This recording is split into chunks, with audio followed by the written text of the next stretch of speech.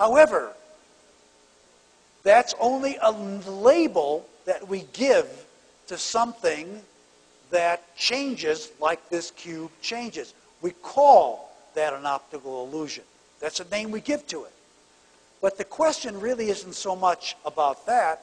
It's about what you are experiencing. See, one of the things we tend to do is when we have an experience which is outside our normal range of experience, is we label things like optical illusion. Once we label it and put it in a box, we no longer have to deal with it. Oh, he's crazy. Put him in a box. Don't have to deal with him anymore. Oh, that's sad that that person died, but put him in a box. Bury him. Don't have to deal with it anymore. We label it, got it, put away, don't deal with it anymore. So many times in medicine, we label illnesses. We say, oh, that's schizophrenia, as if we know what the hell that meant. No one really knows what schizophrenia is. We look at the brain and say, well, the brain, da da dee, da do, da wah, dee da ba, boop, bop, boop, bop, boop, bop. That's it. That explains it. No, it doesn't explain anything. Just a label we attach so that we can deal with it. Okay? Woman says, I have a pain in my sciatic. How does she even know she has a sciatic?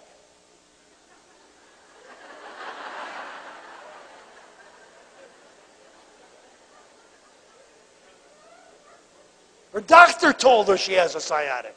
So therefore, oh, that's pain, that's your sciatic. Oh, okay, now I know it's that. So now I will deal with it as that. I'll take medication to deal with it as that.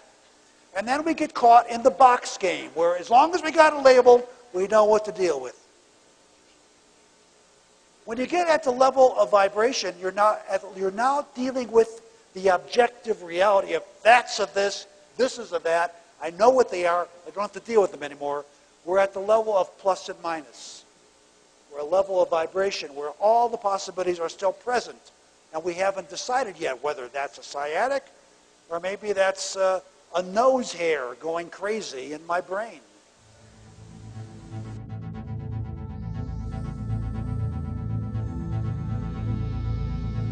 It's, it's neither, let me try to explain about what it is in terms of how it appears.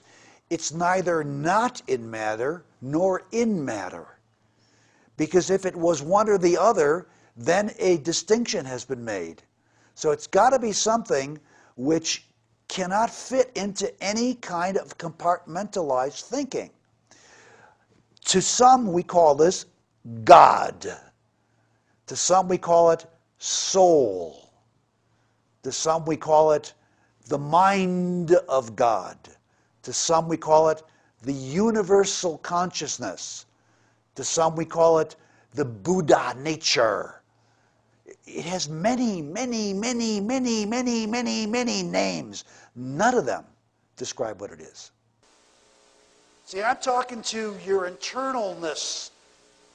I'm talking to something that's much bigger than you presently think you are. I'm not talking to you just as your little tiny. See, you're not really here as little tiny bodies because that odds are too much against that. So I'm talking to something much, much more profound. That's where we're going. That's what we're trying to get in touch with. You knew it when you got when you first were born.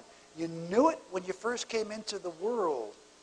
But then your mama and your papa and your grandpapa and your grandmama and the people around you and your brothers and your sisters, they all told you what a blank you were. Fill in the blank with anything you wish and you bought it hook, line, and sinker.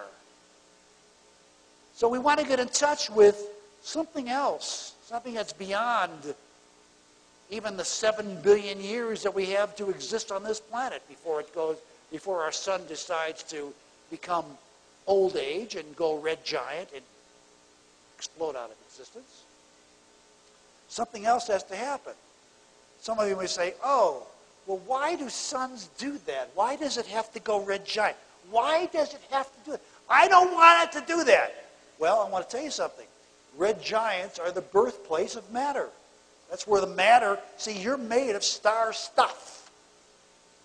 All the matter that you're made of comes out of stars, dying stars gave birth to the material that you're made of. There's not a soul, there's, there's not a, a, molecule, there's not an atom, and there's, there's not an electron in this building that hasn't been born in the surface, on the surface of a dying red star somewhere. Some of you came from the early beginning of the galaxy. I want not the galaxy, of the whole soul, uh, not soul, of the universe itself. You got here when the Big Bang occurred. Some of you are Big Bangers. So Earthians, solar systems, Big Bangers, whoever you are, the odds are against you for being here. So if you're here, something special is going on. Something's going on that we may not have taken into account. That's what we want to find out. The world is made of possibilities. Possibilities are waves of vibration. And those are the things which, when added together, can interfere with each other to produce something new. When you square those, they become probabilities. Those are something old. They're the things which we call the material world. They're the things which we normally deal with in our everyday world. We use probabilities all the time. And it's amazing how often they come up in our everyday life. I mean, they come up in very surprising ways. But we use them all the time. If I had more time with you, I would give you some more examples of how surprising probabilities are. But this is your role as an observer creator. You bring your experience into existence. You bring things out. And you use these basic three rules. One, recognize that possibilities vibrate plus and minuses. Squaring makes things happen. Getting things all square means you've assigned a probability to everything in your life so that you know that when you pick up the toothbrush, put on the toothpaste, put it in your mouth this way, brush this way, that tooth is going to get clean. You've been doing that enough time. You know without thinking that if I put my foot here, then here. This is all a probability game. It looks like it's pretty certain, but you know, there's always a possibility of something happening that I can't. So what I'm trying to say to you is that, you know, there, there are things in life that are probabilistic. And you don't always know that by doing something one way, it's going to continue going the same way. Stuff happens. Probabilities can shift or change. We're always dealing with probabilities, and this is what we do when we learn something new. We shift probabilities. But what I want to get you to is the shifting of possibilities before that even takes place. You choose when to square, which means that you choose at the fundamental level of your vibrational existence which possibilities you want to enhance and which ones you don't. Well, let's start from a scientific point of view. If there is anything called an I, a yo, it's got to be in the body. Where else could it be? It certainly isn't to my left or to my right. Got to be in the body. So let's investigate. Where is his true nature, his I-ness? Where is his I? Let's investigate. We'll put electrodes, we'll paste things on his body, we'll test. We'll find out where the indicates he is.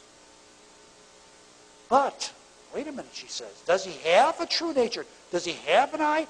Maybe this is a robot we're looking at. How do we know what does? Is this really a human being with an I inside? And maybe it's just some artificially designed human being that only looks like a human but is a robot? How do we know what it really is? Does he have one? Well, let's look over here. No, let's look over there. Let's look here. Let's look there. Let's look every. Can we find out where he is? Who are you? Who are you? Where are you?